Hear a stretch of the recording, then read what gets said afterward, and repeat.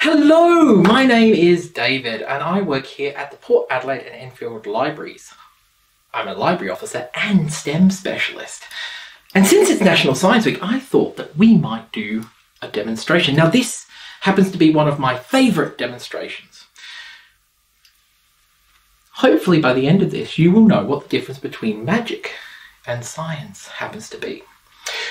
So let's start the demonstration. I've got what appears to be empty cups. I have a clear liquid and I have another clear liquid. All right, so we have water in these containers. What I'm about to do is see if I can make them change colour. So I hope you're watching very carefully at home. Are you ready? I can't hear you. Now I can hear you. All right. Let's start with this cup. What happens if I pour it in? If it's a clear liquid, shouldn't it be a clear liquid? Let's see. Huh. That one went red. What about the next one? That one's gone a sort of reddy orange. Yellow. Green. Blue. And purple. The colours of the rainbow. Red, green, red, orange, yellow, green, blue, and purple. You know there's six colours of the rainbow, right? Not seven. Seven's just a magical number that Isaac Newton thought up of at the time.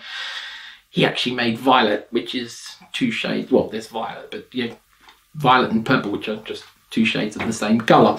Um, this is the correct colours of the rainbow. Red, orange, yellow, green, blue, purple. But you can only see three of them, which is actually that one, that one, and that one.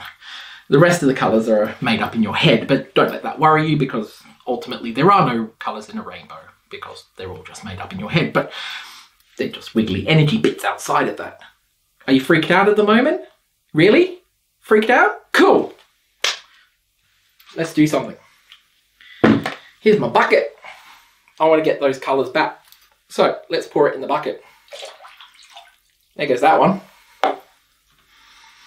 Because I'm always having to clean up. And that one. And that one. And that one.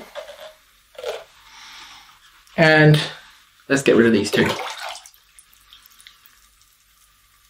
Okay. Ooh.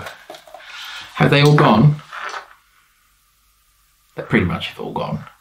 So, my question is, was that magic or science?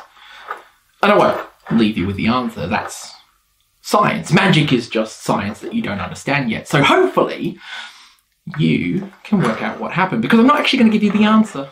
No, I'm not. I want you to look up the rainbow color demonstration and I want you to find out how this is done. In fact, why not come to the library and maybe you can find a book or a video that will actually help explain what happened inside my bucket. Until next time, have a great National Science Week and we'll see you in the libraries. Bye.